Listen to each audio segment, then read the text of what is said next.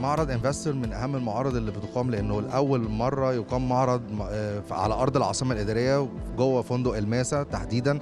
فكل العارضين وكل المهتمين بالمجال العقاري تحديدا ومجال الاستثمار في مجال في منطقة العاصمة الإدارية هيكون موجود النهارده.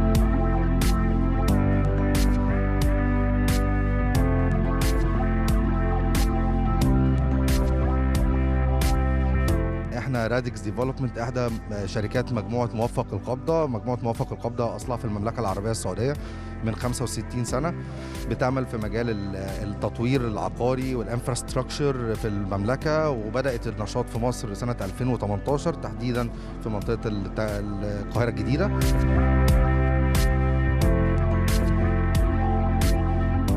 لينا سابق الدخول في سنة 2021 في منطقة العاصمة الإدارية. أه تحديدا نقدر نقول إن إحنا أول developer هيبقى موجود في منطقة ال downtown أه هو specialized أه في مجال ال facility management إحنا خبرتنا في مجال ال facility management في المملكة العربية السعودية والبحرين. في مجال ال facility management خبرة واسعة فاحنا بنحاول ننقل التجربة اللي إحنا عملناها في المملكة لجمهورية مصر العربية. ومفيش أحسن من العاصمة الإدارية هي اللي تكون أرض خصبه لمشاريع هادفة.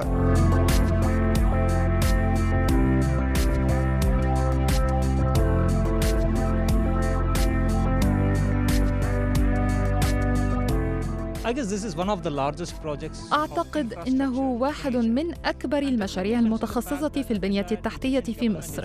وبما أن الحكومة المصرية بالكامل ستنتهي إلى العاصمة الإدارية الجديدة فمن المهم أن تنتقل المنظومة كاملة أن تخطو خطاها. وأتصور أنها فرصة ممتازة للمستثمرين ونحن كممثلين للمجتمع الدبلوماسي نفكر في الاستثمار هنا. وأيضا إمكانية أن ننتقل هنا أيضا.